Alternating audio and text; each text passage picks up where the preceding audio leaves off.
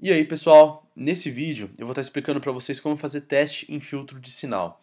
É, nós detectamos que muitos aparelhos estão dando problema no, nos filtros de sinais, seja por sujeira ou algo do tipo. Pessoal, o teste com filtro de sinal é simples.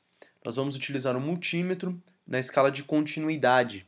Vocês vão reparar que o filtro de sinal ele tem quatro é, conexões né, com a placa você sempre vai pegar as duas menores e vai colocar as duas pontas de prova do multímetro nessas duas conexões menores, nessas duas trilhas menores.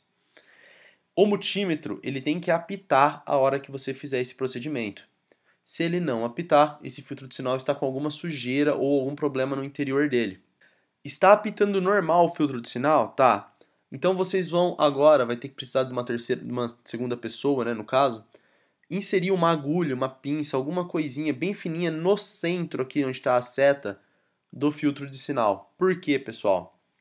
A hora que vocês inserirem e fizer uma, uma pressão bem leve por cima dele, ele vai interromper a continuidade. Ele precisa interromper a continuidade. Interrompeu a continuidade, você já sabe que aparentemente né, o filtro já está ok, o funcionamento do filtro está ok pode ser que por uma possível oxidação ou algo do tipo ele, seja, ele esteja causando algum defeito. Porém, o funcionamento dele está perfeito.